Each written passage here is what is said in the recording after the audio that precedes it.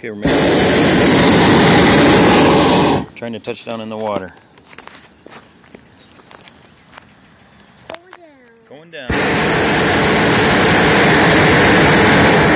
at the people in the boat. I got too hard of a left on the ground. I'm heading more north. I'm gonna miss it.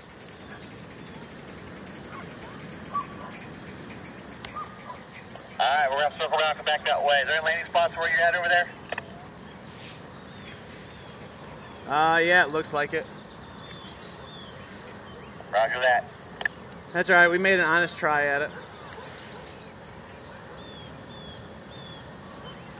Oh well. What do you think happened? We got out and just came down, and the left just took us too far, too fast. Well, the wind wind currents kind of change, don't they? Then they Yeah. don't really hold.